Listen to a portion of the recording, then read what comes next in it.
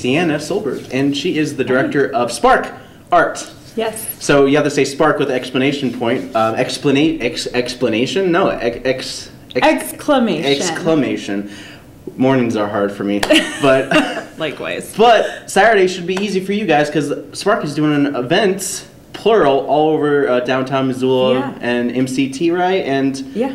Well, they're gonna participate. They actually their location is unavailable, but they're gonna participate. they have in the uh, many event. things going yeah, on as well. Yeah. Because I know that they're doing. Uh, is this part of their? Uh, never mind. Let's not talk about MCT. Well, Uh, they are doing a play. They're doing Charlotte's Web. Yes. Which is actually part of National Arts and Education Week and part of Spark Arts. And so we actually send all of our second graders from MCPS over Oh. there to watch the play, and that's their arts enhancement. So they're doing that this week. So let's talk about this raffle. So apparently, um, Yeah. you you want to encourage these kids to go to these things. Yeah. Um, they have to go to at least five Yes. of these uh, uh, arts events. Yeah. And they can be entered into a raffle. Yeah, it's exciting for sure. So, yeah, they just need to try five different arts activities on Saturday, get into a raffle. Um, there's two tickets to MCT, there's some books from Fact and Fiction, there's some things from Upcycled, uh, Rockin Rudy's. Wow. ZACC is um, donated a gift card for one of their after school activities, so it's, it's great. Nice. Yeah.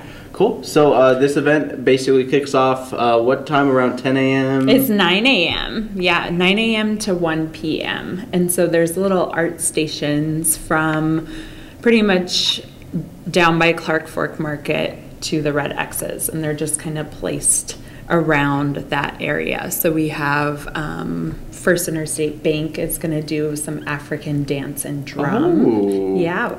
And then there's Cloth and Crown with bubble art. The Five on Black parking lot in front of Mountain Berry Bowl is going to have some poetry with Writing Collaborative, as well as Turning the Wheel is going to have some events there. Nice.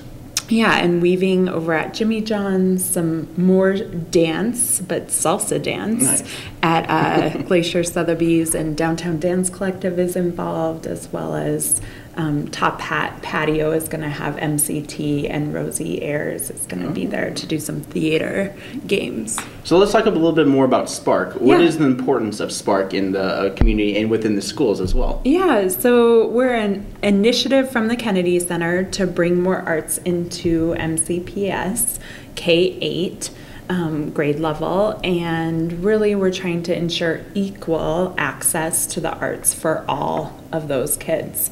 Um, level the leveling the playing field to make sure that all kids have access to arts.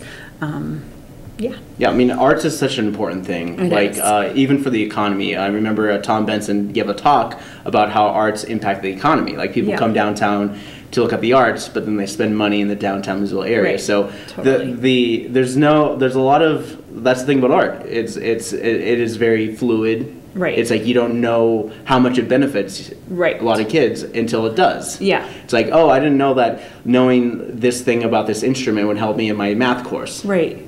Totally. So there's just a lot of different things associated with arts that definitely need to be within the schools. Yeah, and there's, you know, arts for art's sake where you're creating something solely for the purpose of art, and that obviously has its benefits, um, creativity and that sort of thing. And then there's arts integration where you're um, learning an art form and curriculum standards Yeah. at the same time. And, you know, the importance of arts, I think, particularly particularly in this day and age is that it's building those 21st century skills that kids need to be successful adults. Cool. And I mean, like, I thought it was really cool because a couple years ago I filmed uh, like a, a, a classroom setting where uh, they were basically teaching, um, you know, national and uh, historical landmarks through dance. Oh, yeah. And so there's like, here's a dance move for the Statue of Liberty and all Yeah. that stuff. And it's like really interesting, kind of like how they associate that with teaching as well. Right, and you remember that, and I bet I- the kids remember it. Yeah. You know, like it's it's great with memory retention and and that kinesthetic learning. Right. Yeah. Cool. So uh, once again, this event's going on all around downtown. Missouri Museum. You Yeah. got uh, Downtown Dance Collective. You got uh, basically, uh, hey, if you're going to um, Saturday, uh, no, um, if you're going to the markets this Yeah. weekend, encourage your kids to come with you. Yeah, Check out some art, and they might win some prizes through the raffle. I know. There will be um, signs that will indicate where the art spots are too. So look out for the signs. All right, so where can people find more information about Spark? Yeah, www.sparkartslearning.org. Awesome. Well, thanks, Sienna. Thanks so Thank you much, Scott. I really Is there anything it. else you want to say? I don't think so. Awesome. We're Well- just